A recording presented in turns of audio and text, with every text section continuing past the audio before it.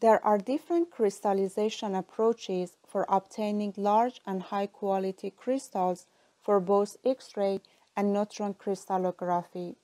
One of these approaches is using dialysis method.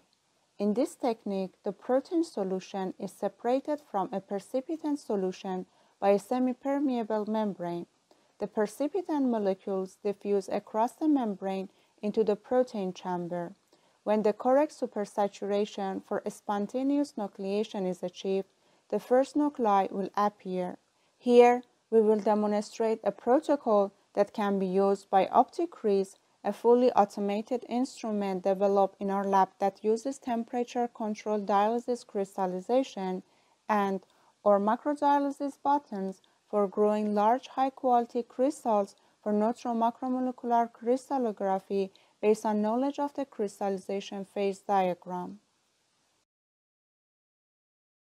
For a microdialysis button with 30 microliter volume, pipette 35 microliter of lysozyme solution into the dialysis chamber. This extra volume creates a slightly dome shape on top of the dialysis chamber and prevents air bubble formation. Take an applicator and place the elastic O-ring at the extremity of it.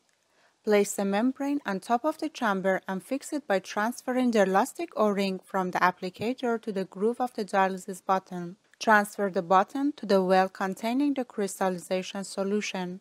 Cover the well with a glass cover slip or a piece of tape. Keep the sample at 293 Kelvin in a vibration-free thermoregulator incubator.